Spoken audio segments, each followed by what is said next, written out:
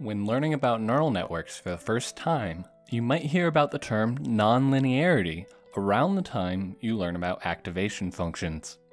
Basically, nonlinearity just means not linear.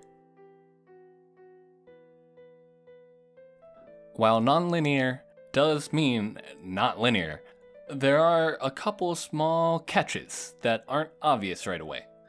For example, if the output function of a network could be described by the function the square root of 2 times x squared plus pi cubed sine x, you might think that the function is doing a nonlinear transformation.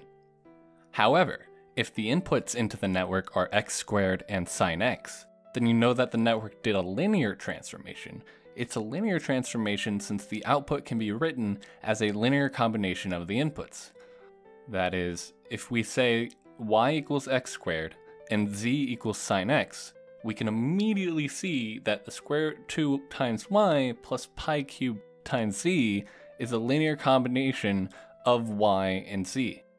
Note that we don't care that the constants are the square root of 2 and pi cubed, those are just constants that don't depend on the input.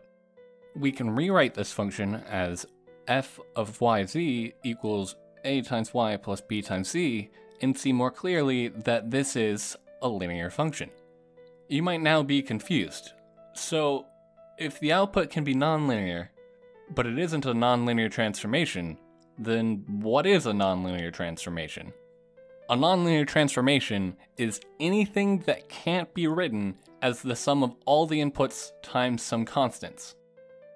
That is, f of x, x2, x3 is linear if and only if it can be written as f of x, x2, x3 is equal to a1x plus a2, x2 plus a3, x3 dot dot dot plus c, where c is just some constant. Going back to the earlier example, that example is only linear if the inputs are x squared and sine x. If the input is x by itself, it's nonlinear. If it's x squared by itself, it's nonlinear. Or sine x by itself, it's nonlinear.